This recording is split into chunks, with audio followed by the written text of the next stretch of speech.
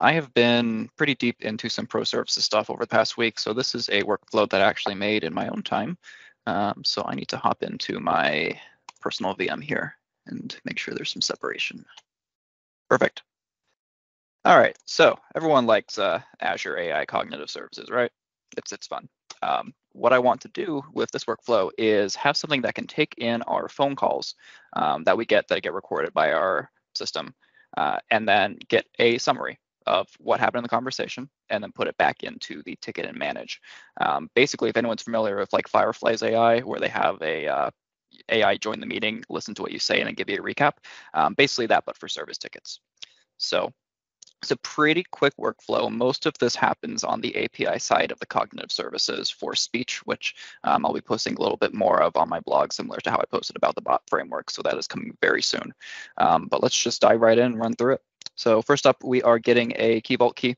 Um, something that I learned recently is in the security tab, um, there is redacted input and output parameters, and I am redacting value here. Um, that way, when we have these executions, the actual legitimate Key Vault key is not just sitting as plain text in those executions. Um, and then similarly, with this specific API, you need to send that key as a header. Um, so on all tasks where I do that, I'm just blanking out headers in the input. Um, but anyway, once we have that key, uh, we're going to go ahead and proceed to create a batch transcription. Um, this is pretty simple. Um, we have a endpoint here that we get when we sign up for the cognitive services. Um, so our region, uh, API for cognitive, what we want to do is we're using the speech to text module and then transcription endpoint. Uh, from there, we're going to go ahead and send in a content URL. Uh, so I am hosting a short demo call in my blob storage, which was also made by AI. So just a kind of dummy conversation. Um, so I'm pointing it to that and we're making it a JSON string. Uh, locale is US, display time or display name is just what the recording is called. So I'm just doing UTC now. Uh, so we have a somewhat unique value. Uh, and then the properties here is just what languages you're listening for. I'm just keeping it at the default of US, ENUS, and Spanish. Um, and then this model here, you are able to upload custom models to cognitive services for speech. Uh, null just means I don't have one, just use whatever the default is. So once we've sent that, uh, it's going to go ahead and get the uh, request to start a batch processing job. Uh, I have the input variable for this as a list because you can actually have multiple URLs in there. You send it once, hence the start batch job.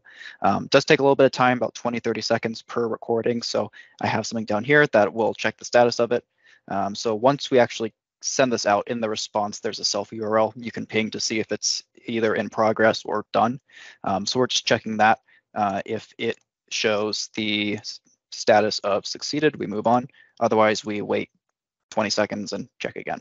Uh, once it does say succeeded, though, um, we're going to go ahead and get the results out of that, um, which is the same self URL, just slash files now. Uh, from there, we're going to go ahead and get the content out of that file link it gave us. And then we are going to feed that straight into AI. So system message, you're an AI summary generator for IT service desk. Uh, you're fed transcripts that transcribe it and summarize it in no more than a few sentences. Uh, audience will be internal IT technicians. And then for the user message, we feed it the display text. So all together, we'll go ahead and rerun this because it already has our URL in there.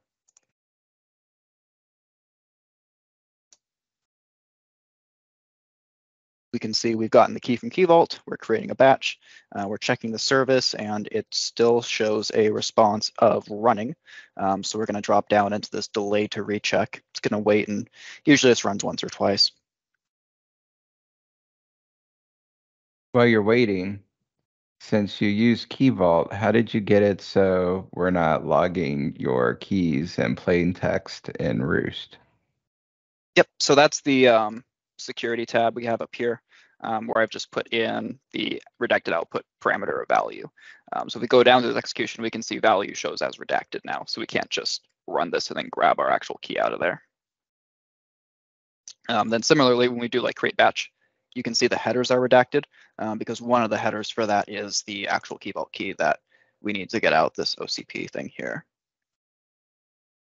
Uh, looks like it's done. So we have gotten the status of it and that came back as succeeded. Uh, so we've moved on to getting the results link, uh, getting the content from that, storing it in a Jinja variable, and then just doing an AI summarize. So in our context here, the very last one should be called summary. And we can see the user called the IT support desk for assistance while applying an update, which required admin access. The technician remoted into the PC, guided them through the process, and explained the process could be used for other applications in the future. So next steps, this is like just the very basic building blocks of this. Um, I want to start intaking and matching calls to tickets as they come in, um, and then ultimately generating a sentiment analysis for our service desk manager. So we can be sent reports that run through the very same endpoints that we're doing the transcription from that also do sentiment analysis and say, hey, the system is saying these people on these calls were a lot more frustrated than, you know, the baseline for it. You should probably take a listen to those calls and see what's going on um, just a lot easier way to to get a good handle of how conversations are going. And Aaron, just for you, I want to go over something else I've done here. Um, as part of the response from that content, there is a uh, duration and ticks of the recording.